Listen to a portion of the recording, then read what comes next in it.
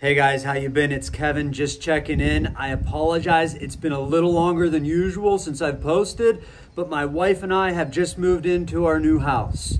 I have tirelessly worked on this house for the last five years with the help of my old man. I apologize about the wind. We got a storm whipping in here, and I want to get this uploaded for you guys since it's been a while.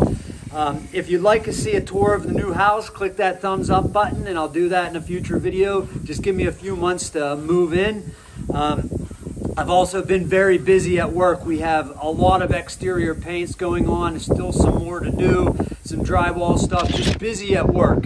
So I do want to do more with the YouTube channel and I want to move it in different directions. But right now, I want to talk about this little beauty. This is my Gransfors Bruks Cruiser Axe, vintage Cruiser Axe, which is featured in this splitting video.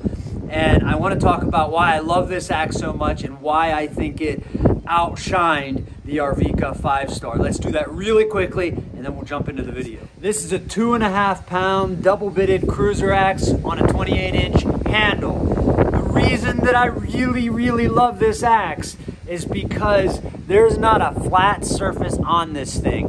It's convex in every direction. Of course, it doesn't have a very wide bit, but because it's convex in every direction and it's so short and stubby, it just doesn't stick and it busts those chips out real well.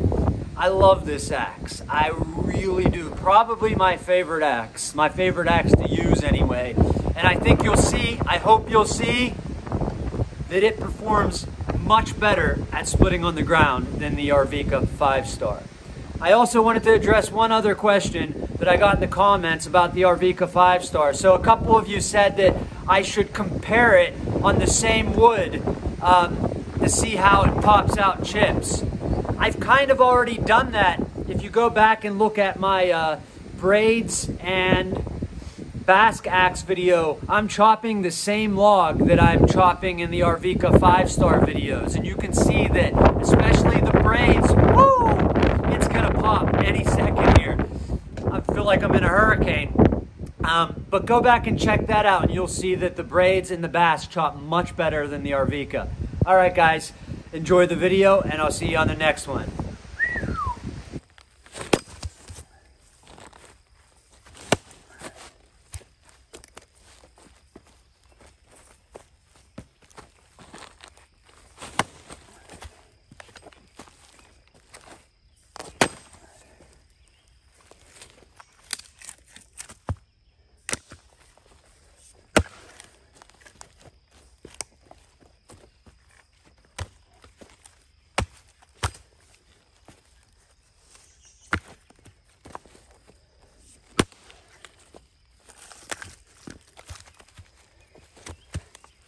Well, I'll be.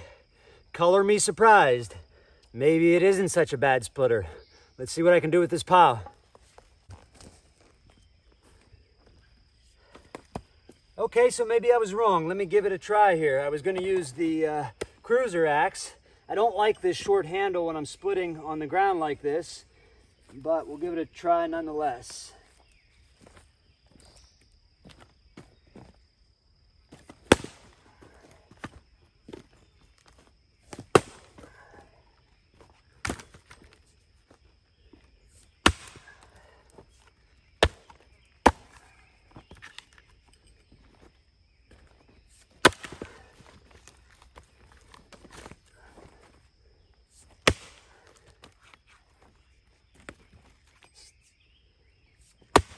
Sticky little guy.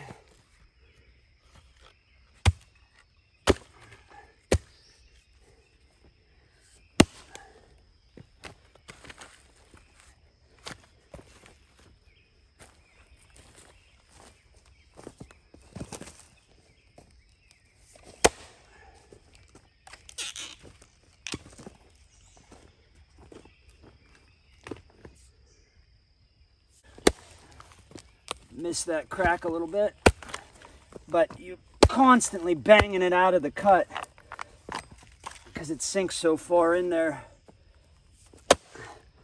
So what's the verdict? I would say it splits better than I expected, but not good enough to call it a good splitter. I mean on the ground, of course.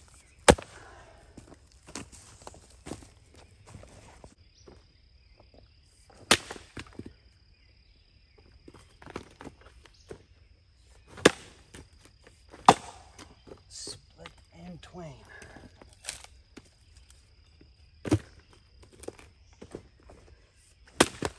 I hope you can see the difference already.